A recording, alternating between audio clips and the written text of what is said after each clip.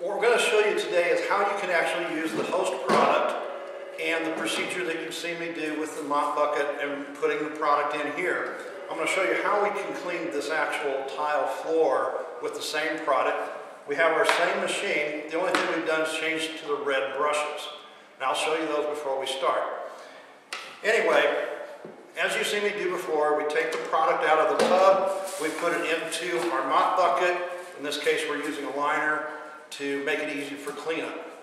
What we're going to do is distribute it the same way that we always have done before, and that's by applying our four piles, or five. And as we've said before, this is my three feet spacing. We're going to use another three feet spacing here. And that's our five piles.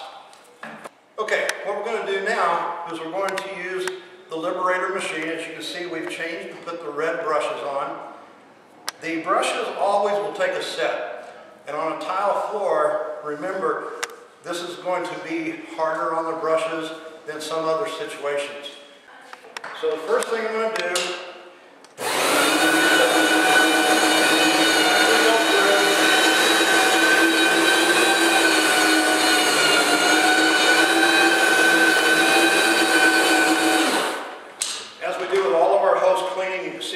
done was just simply spread the product out to the area that I want to clean.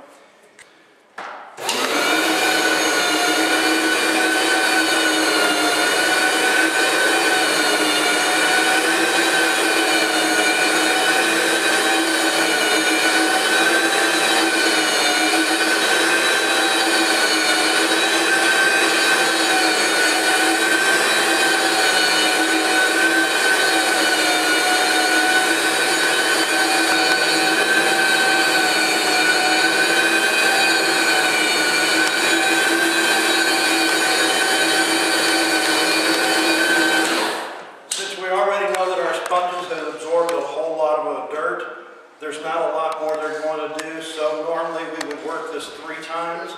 In this case, I'm going to go ahead and vacuum this up. It's not going to do any good for me to waste my time trying to rub a dirty sponge into a dirty floor.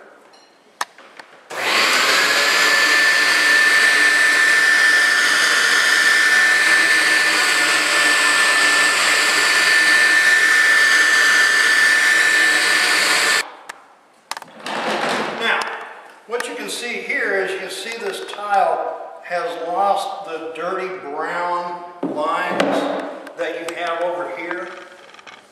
You can see what was on the tile.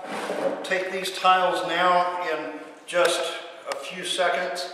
It picked up all of that. But what I was going to do here is, these are the sponges that we just removed. And this is the clean sponge. What you have here is definite transfer of the dirt and soil from the surface to the sponges. What you can see here is this was the pile of sponges after the first pass. This is what's in the container now.